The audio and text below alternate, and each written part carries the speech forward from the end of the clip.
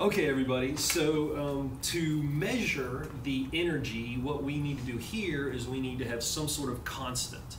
As sort of um, um, opposite as that sounds, we're going to have Lucy be our constant. so the Lucy constant is going to be the amount of energy that she takes to create an earthquake to fail this slope. So Lucy, why don't you go ahead and shake the board, and we're going to see the slope fail. Perfect. Very good. So now we have a flat slope. We've had the um, energy disperse the soils out, and we have a failed slope. We're going to come back in the next video. That's gorgeous. Take a look at that. We're going to come back in the next video and rebuild the slope.